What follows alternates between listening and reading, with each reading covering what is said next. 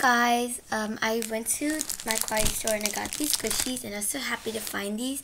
Um, Slushify, I think, she told me about these uh, squishies being there and I was like, oh my god, you serious? And then she was like, yeah, so I went to go to my kawaii store. Um, she actually told me a long time ago, like a month ago, and like, by the way, these are like really expensive. These are like $15 each and about, about nine, about nine squishies in total.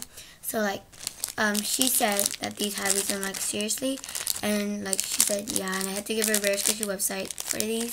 So um, to tell so she can tell me where she got these. Um, also um, then like I was gonna buy them but I wanted so much like a lot of them because they're so cute.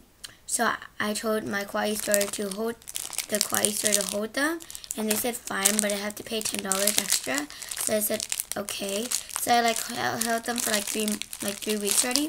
That's why I kept saying I'm gonna get Bear School Squishies, I'm gonna get Bear School Squishies.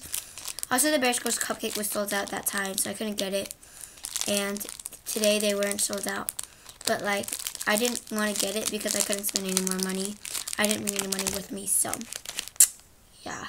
You know what else to started? So first I got this Cheburashka Twin Strawberries tag.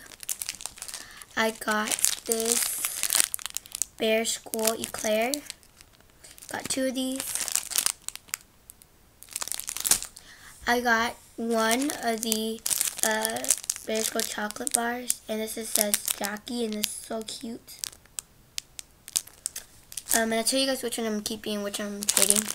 And then I got two of the uh, melon squishies with the tag.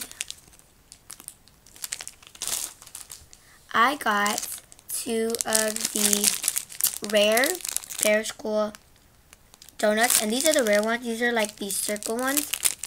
These are bitten. Never seen anyone have these. So I was really excited. That's why I got two of these. Tag. Then lastly I got only one of these Bear School pancakes because this some of them were like, you know, these are like more popular. Um, so this is the ones that are for trade and which ones aren't. So the ones that are for trade is the Bear School Eclair, the uh, one of the Bear School Donuts, and the uh, Cheburashka Melon. I'm actually giving away this one.